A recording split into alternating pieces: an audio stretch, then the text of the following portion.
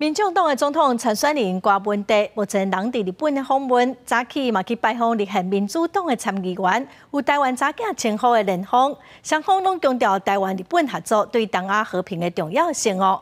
另外，针对咱国内最近正受到关注的核能议题，郭文德是认为讲，好友谊应该爱甲核废料要安怎处理，讲好清楚。囡仔别使。囡仔，囡仔，囡仔袂使。囡仔。那中文听吧，台语也会通。台下日本参议员电访甲民众党总统参选人郭文德互动真热，也聚焦两个议题。李登辉前总统跟我讲过，这个台湾在面对国际关系的时候，其实最简单的方法就是把日本当做参考点，然后再做调整就可以，这样大概就不会差太多。台湾跟日本的合作，最整对整个东亚和平是非常重要的。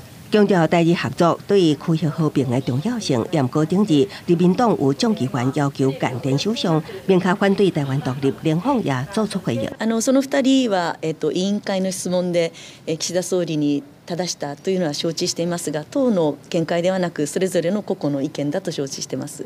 总统大选继续聚焦电话议题，国民党认为现阶段上安全的做法就是核子核三演习，未当二零二五的关掉。 我知道缓和是民进党的神主牌，可是现在就是就是面对问题嘛，你不能说警报神主牌，那不顾事实嘛。这核废料，我跟你讲，将来就是侯友谊要面对的问题嘛。你当时都那个核一核的核废料，你你那个死照不建造不发给他，不让他盖那个储存槽。那你现在你要说你要永和也不对。